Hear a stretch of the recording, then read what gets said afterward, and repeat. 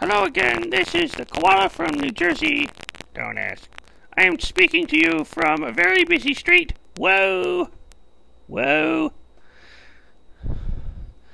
Have you ever felt sometimes that you needed to get away from the hectic busyness of life? And go to the countryside. Yes. Where the trees are green and the wind sways through the trees and the sunlight peers through and the waters are calm. Yes. Well, this is what we can do through prayer.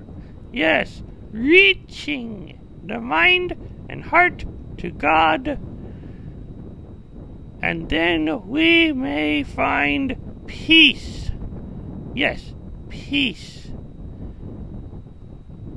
And so, this is the koala from New Jersey bidding you a peaceful day.